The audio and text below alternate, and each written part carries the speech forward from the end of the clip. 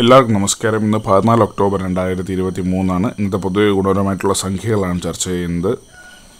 മേടക്കൂറുകാർക്ക് ഇരുപത്തിരണ്ട് തൊണ്ണൂറ് ഇടവക്കൂറുകാർക്ക് പതിനാറ് നാൽപ്പത്തി അഞ്ച് മിഥുനക്കൂറുകാർക്ക് രണ്ട് തൊണ്ണൂറ്റി മൂന്ന് കർക്കിടക കൂറുകാർക്ക് അമ്പത്തഞ്ച് ഏഴ് ചിങ്ങക്കൂറുകാർക്ക് നാൽപ്പത്തി മൂന്ന് ഇരുപത്തൊമ്പത് കന്നിക്കൂറുകാർക്ക് പന്ത്രണ്ട് എൺപത് തുലാക്കൂറുകാർക്ക് അമ്പത്തിനാല് മുപ്പത്തെട്ട് വൃശ്ചിക കൂറുകാർക്ക് തൊണ്ണൂറ്റി രണ്ട് എഴുപത്തൊന്ന് ധനുക്കൂറുകാർക്ക് അറുപത്തഞ്ച് പതിനേഴ് മകരക്കൂറുകാർക്ക് മുപ്പത്തൊമ്പത് നാൽപ്പത്തിയെട്ട് കുംഭക്കൂറുകാർക്ക് പതിമൂന്ന് തൊണ്ണൂറ്റി രണ്ട് മീനക്കൂറുകാർക്ക് നാല് ഇരുപത്തെട്ട് എന്നിവയാണ് പൊതുവെ ഗുണപരമായിട്ടുള്ള സംഖ്യകൾ.